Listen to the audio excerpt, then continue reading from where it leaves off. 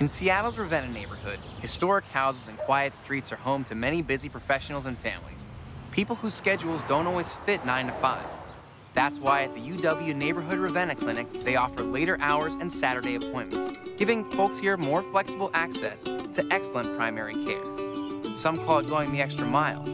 They call it being a good neighbor. Choose from any of our UW neighborhood clinics. Learn more at uwmedicine.org/uwnc.